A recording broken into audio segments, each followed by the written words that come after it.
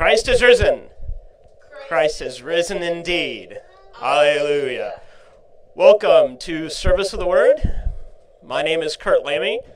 I serve as the pastor at St. Paul Lutheran Church on Dogleg Road in Dayton, Ohio. I'm joined by my wife, Rachel Lammi, who serves as the organist at the Kettering Seventh day Adventist Church in Kettering, Ohio. And we're joined by our daughter, Rose. Today's music is covered by one license, license number A 731558. Also, I encourage you to use the comments section and the reactions to react and respond to today's service. With that, let us set ourselves for worship with a prelude.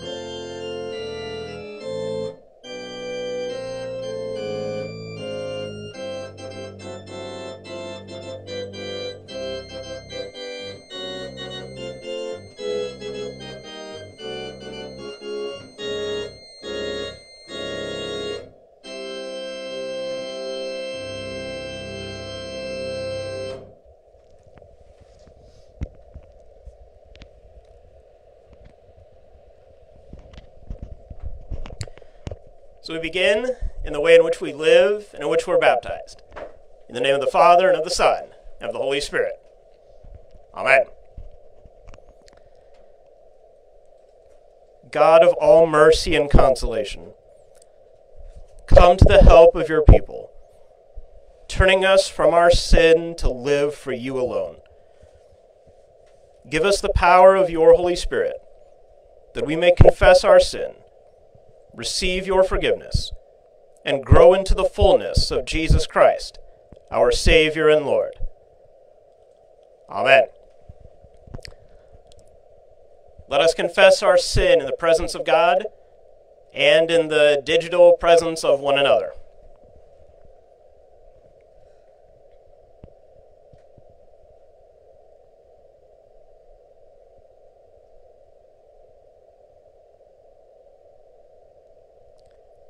Most merciful God.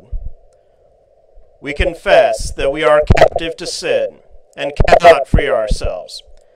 We have sinned against you in thought, word, and deed, by what we have done and by what we have left undone. We have not loved you with our whole heart. We have not loved our neighbors as ourselves. For the sake of your Son, Jesus Christ, have mercy on us Forgive us, renew us, and lead us, so that we may delight in your will and walk in your ways, to the glory of your holy name. Amen. In the mercy of Almighty God, Jesus Christ was given to die for us. And for his sake, God forgives us all our sins. As a called and ordained minister of the Church of Christ and by his authority, I therefore declare to you the entire forgiveness of all your sins. In the name of the Father, and of the Son, and of the Holy Spirit. Amen. Let us pray.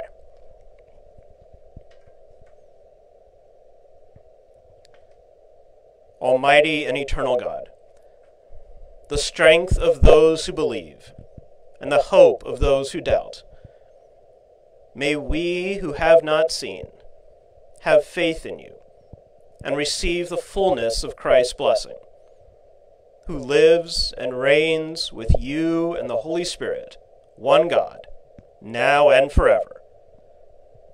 Amen. Our first reading is a reading from Acts chapter 2, verse 14a, and then 22 through 32.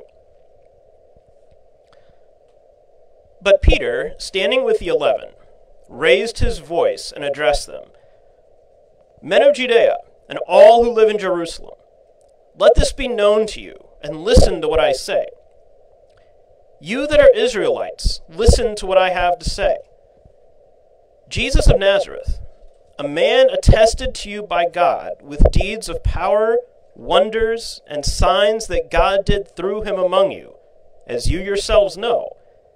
This man, handed over to you, according to the definite plan and foreknowledge of God, you crucified and killed by the hands of those outside the law.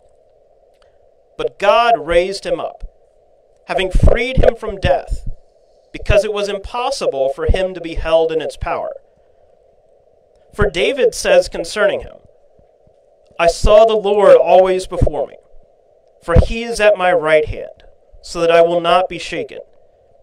Therefore my heart was glad, and my tongue rejoiced. Moreover, my flesh will live in hope. For you will not abandon my soul to Hades, or let your Holy One experience corruption. You have made known to me the ways of life. You will make me full of gladness with your presence. Fellow Israelites, I may say to you confidently of our ancestor David that he both died and was buried, and his tomb is with us to this day. Since he was a prophet, he knew that God had sworn with an oath to him that he would put one of his descendants on his throne. Foreseeing this, David spoke of the resurrection of the Messiah, saying, He was not abandoned to Hades, nor did his flesh experience corruption. This Jesus God raised up, and of that all of us are witnesses. The word of the Lord. Thanks be to God. A reading from Psalm 16. Protect me, O God, for in you I take refuge. I say to the Lord, You are my Lord. I have no good apart from you. As for the holy ones in the land, they are noble, in whom is all my delight. Those who choose another God multiply their sorrows, their drink offerings of blood. I will not pour out or take their name upon my lips. The Lord is my chosen portion and my cup. You hold my lot. The boundary lines have fallen for me in pleasant places. I have a goodly heritage. I bless the Lord who gives me counsel. In the night also, my heart instructs me. I keep the Lord always before me because he is at my right hand. I shall not be moved. Therefore my heart is glad, and my soul rejoices. My body also rests secure. For you do not give me up to Sheol, or let your faithful ones see the pit. You show me the path of life. In your presence there is fullness of joy. In your right hand are pleasures forevermore. Our second reading is a reading from 1 Peter chapter 1, verses 3 through 9. Blessed be the God and Father of our Lord Jesus Christ. By his great mercy, he has given us a new birth into a living hope through the resurrection of Jesus Christ from the dead, and into an inheritance that is imperishable, undefiled, and unfading, kept in heaven for you, who are being protected by the power of God through faith, for a salvation ready to be revealed in the last time. In this you rejoice, even if now for a little while you have had to suffer various trials, so that the genuineness of your faith, being more precious than gold, that though perishable is tested by fire, may be found to result in praise and glory and honor when Jesus Christ is revealed. Although you have not seen him, you love him. And even though you do not see him now, you believe in him and rejoice with an indescribable and glorious joy. For you are receiving the outcome of your faith, the salvation of your souls. The word of the Lord. Thanks be to God. The Holy Gospel according to John, the 20th chapter, is 19 through 31. Glory to you, O Lord. When it was evening on that day, the first day of the week, and the doors of the house where the disciples had met were locked for fear of the Jews, Jesus came and stood among them and said, Peace be with you. After he said this, he showed them his hands and his side. Then the disciples rejoiced when they saw the Lord. Jesus said to them again, Peace be with you. As the Father has sent me, so I send you. When he had said this, he breathed on them and said to them, Receive the Holy Spirit. If you forgive the sins of any, they are forgiven them. If you retain the sins of any, they are retained. But Thomas, who was called the twin, one of the twelve, was not with them when Jesus came. So the other disciples told him, We have seen the Lord. But he said to them, Unless I see the mark of the nails in his hands, and put my finger in the mark of the nails, and my hand in his side, I will not believe. Well, a week later, his disciples were again in the house, and Thomas was with them. Although the doors were shut, Jesus came and stood among them and said, Peace be with you.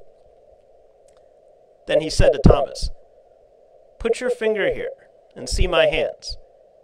Reach out your hand and put it in my side. Do not doubt, but believe. And Thomas answered him, My Lord and my God. Jesus said to him, have you believed because you have seen me?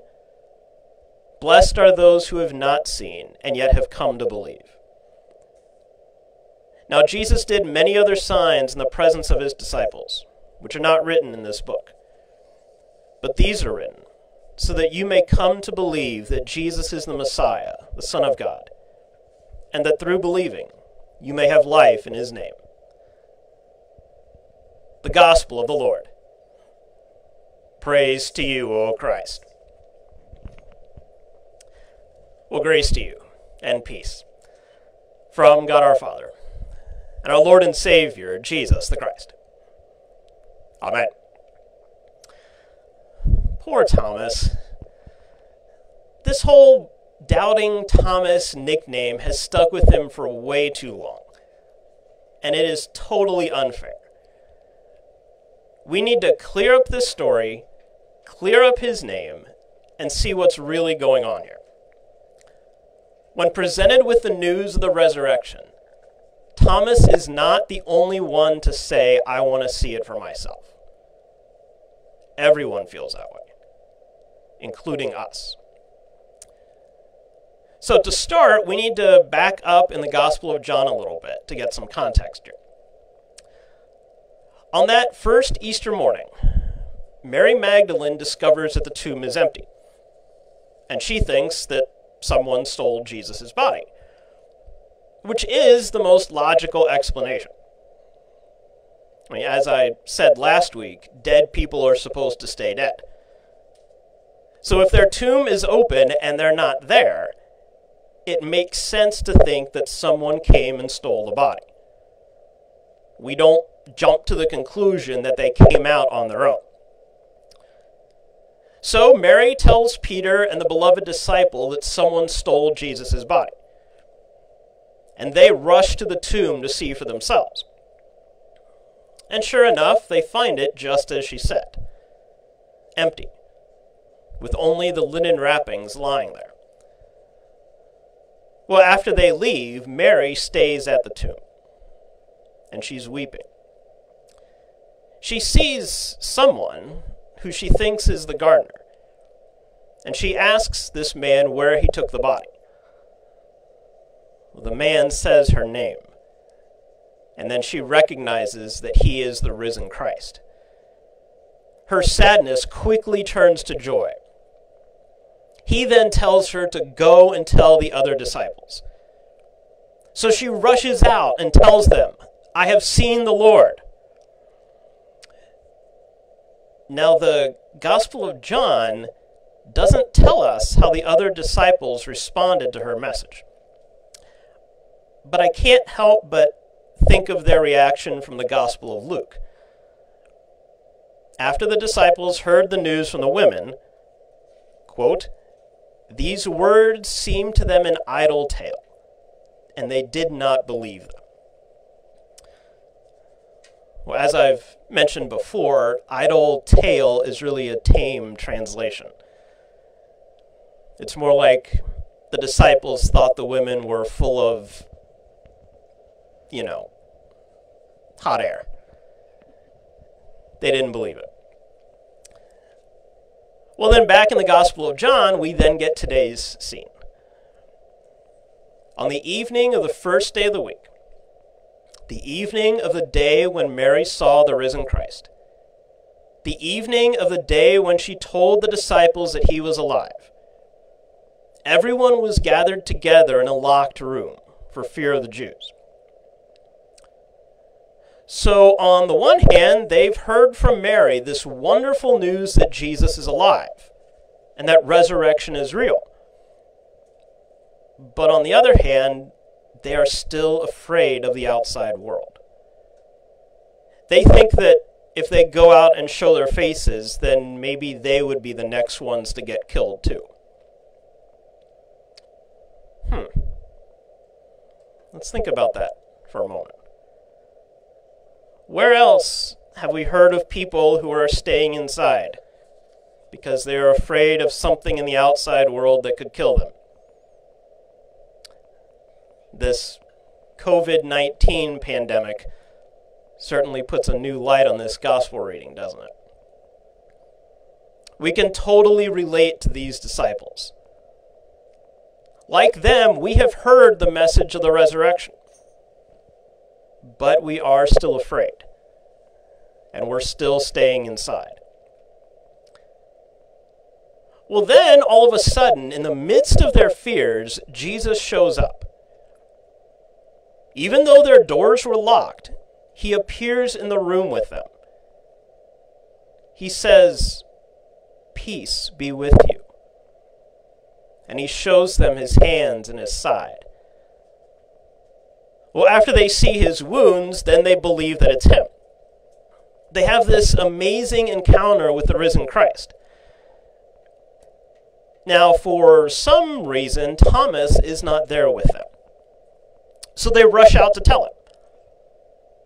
Just as Mary told the disciples, I have seen the Lord, so they say to Thomas, We have seen the Lord.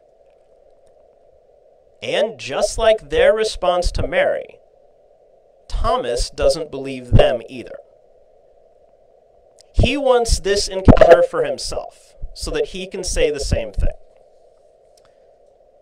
So clearly, there is a pattern going on here. Someone is feeling afraid or sad. They hear the news of the resurrection, but they don't believe it. Then they have an encounter with the risen Christ and they're overjoyed. Then they tell someone else who is afraid or sad. That person doesn't believe them. They have an encounter with the risen Christ and they're overjoyed. Then they tell someone else and the pattern continues. It's fear, disbelief, encounter, share. Fear, disbelief, encounter, share. So Thomas is not the only one who doesn't trust the good news right away. Mary feels that way, the other disciples feel that way, and we feel that way too. Right? Like here we are, huddled up in our little rooms, afraid of the outside world. We've heard the news of the resurrection, like with Easter Sunday last week, but we don't always trust it. Instead, we're hearing news that gives us plenty of reason to be afraid. Like this past week, we found out that even with all of our social distancing, the United States now has the most coronavirus deaths in the world even passing Italy. So now what? We're terrified of the outside world and we're staying inside. But just like for the disciples in their locked rooms, the risen Christ appears to us too. But how? Right? We don't get his physical body in the room with us. We don't get to touch his wounds like they did. We don't get him breathing the Holy Spirit upon us. All of which is true, but that does not mean that he's not here with us. And that does not mean that we don't have his peace. Yes, he is not physically present with us now like he used to be. But then again, we aren't physically present with each other like we used to be either. And yet we are still connected to one another. Consider what we're doing right now. Right, here we are, trying to stay safe in our little rooms, and the risen Christ comes to us through these screens. Our doors are locked, we're afraid. And yet he comes to us in this room through this screen. We hear the promise in Scripture that he is risen. And that gives us peace. Well, we might say that's not quite the same as touching his wounds, as putting our hand in his side. If only we were there with Thomas when he got to do that, then we would really know that resurrection is real. Living in this pandemic, that's not always easy to see. Well, that is our disbelief. We're afraid of what this virus is doing in our lives. And when we hear the news of the resurrection, we don't always believe it. But even though we might feel that way, the gospel writer did not write this story to make us jealous of Thomas. In fact, the reason for writing it is given in the last few verses of the reading. Jesus said to Thomas, Have you believed because you have seen me? Blessed are those who have not seen and yet have come to believe. Now, Jesus did many other signs in the presence of his disciples, which are not written in this book. But these are written, so that you may come to believe that Jesus is the Messiah, the Son of God, and that through believing you may have life in his name. The gospel writer wrote this story, and indeed the entire gospel account, for our sake as readers, so that we may come to believe in Jesus. And remember, in the Gospel of John, belief in Jesus does not mean intellectual consent. It means having a relationship with Jesus. We do not need to put our hands in his side in order to trust him. We do not need to touch the nail marks in order to have a relationship with him. Instead, we have Scripture and the promise that He comes to us in it. That is the very purpose for why this book was written.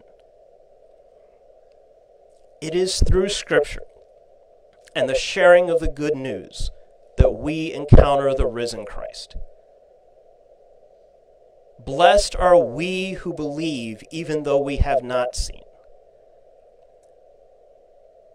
So that means we have moved from fear to disbelief to encounter. Which then, of course, takes us to share. We can now do as Mary did for the disciples and as they did for Thomas. We can now tell others this wonderful news too. And even if they don't believe it, that's okay. It is not our job to convince them. It is our job only to share the message. That's what Mary did. That's what the disciples did. And that's what even later tradition says that Thomas did too. So even if people don't immediately believe us, we can still trust that no matter what they are feeling or thinking, the risen Christ will still come to them, just as he comes to us. That is the promise of this passage. In the midst of our tears and fears, the risen Christ still appears. Maybe that rhyme will help you remember it in the midst of our tears and fears, the risen Christ still appears. Whether he appears for the disciples in the flesh in a locked room, or whether he appears for us through these screens or through Scripture, or whether he appears in the world in some other way, he is always with us. And that gives us peace no matter who you are or what you are going through. That is certainly good news worth sharing. So together we can join the disciples in saying, We have seen the Lord. In the name of the one who is alive and present with us, Jesus Christ our Lord. Amen. Our hymn is O Sons and Daughters, Let Us Sing, which is found in your ELW as hymn 386. We will sing the refrain and then verse 1, then 5, 6, 7, 8, and then the refrain again.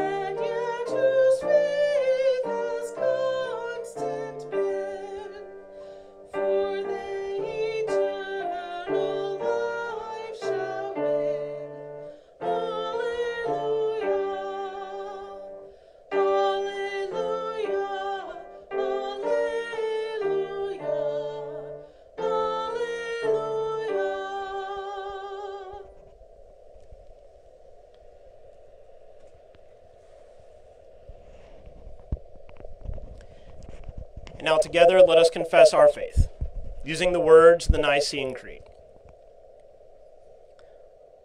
We believe in one God, the Father, the Almighty, maker of heaven and earth, of all that is seen and unseen. We believe in one Lord Jesus Christ, the only Son of God, eternally begotten of the Father, God from God, light from light true God from true God, begotten, not made, of one being with the Father. Through him all things were made. For us and for our salvation, he came down from heaven, was incarnate of the Holy Spirit and the Virgin Mary, and became truly human. For our sake he was crucified under Pontius Pilate. He suffered death and was buried. On the third day he rose again in accordance with the Scriptures.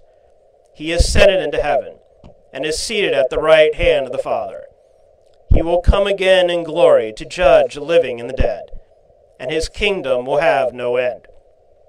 We believe in the Holy Spirit, the Lord, the giver of life, who proceeds from the Father and the Son, who with the Father and the Son is worshipped and glorified, who has spoken through the prophets. We believe in one holy Catholic and Apostolic Church. We acknowledge one baptism for the forgiveness of sins. We look for the resurrection of the dead and the life of the world to come. Amen. Uplifted by the promised hope of healing and resurrection, we join the people of God in all times and places in praying for the church the world, and all who are in need. Responding, hear our prayer.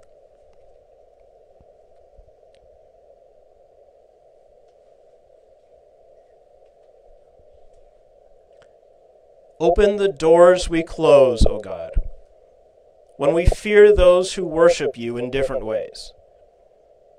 Guide us to unity and harmony so that we may come to respect and cherish our commonalities. Lord, in your mercy, hear our prayer. Open the paths we ignore, O God, when we prioritize financial gain and convenience over listening to the groaning of the earth. Inspire all to care for the world you have made so that living things might thrive. Lord, in your mercy, hear our prayer. Open the rooms we lock, O God, to those who live without a homeland or place of safety. We pray that generous nations open refuge and peace to all. Lord, in your mercy, hear our prayer. Open the hearts we close, O God, to the cries of those in pain. We pray for those isolated physically or emotionally through incarceration, addiction, mental illness, chronic suffering, grief, and all in need especially those who we name before you now, either aloud or silently in our hearts.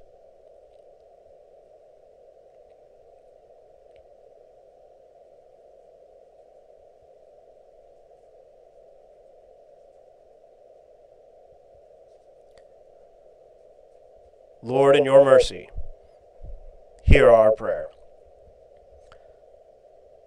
Open the ways of love, O God in the pursuit of peace throughout the world. And bless the efforts of missionaries, healthcare professionals, activists for women and children, and relief workers, especially those who find themselves in harm's way. Lord, in your mercy, hear our prayer. Open our mouths, O God to proclaim your good news to others who are not physically with us. In this time of social distancing and quarantine, Help faith to overcome fear. And empower us to share the promise of your resurrection with others. Help our witness of your love reach those who are not in the same place we are. Lord, in your mercy, hear our prayer. Open the way to eternal life, O God, as we remember those who have died in the faith. Free us from the fear of death, that we embrace the peace you have promised. Lord, in your mercy, hear our prayer. With bold confidence in your love, Almighty God, we place all for whom we pray into your eternal care. Through Christ our Lord. Amen. And now the peace of the Lord be with you all. Now, please take a moment to use the comments section to leave a word of peace to the others who are participating in this service with you.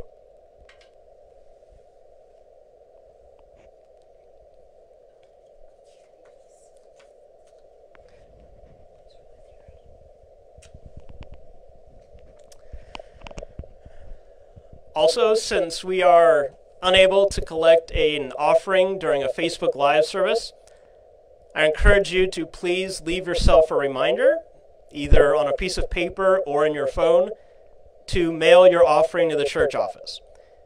It is because of your generosity that we can continue to do ministry together. And now, gathered into one by the Holy Spirit, let us pray as Jesus taught us. Our Father, who art in heaven, hallowed be thy name. Thy kingdom come Thy will be done, on earth as it is in heaven. Give us this day our daily bread, and forgive us our trespasses, as we forgive those who trespass against us.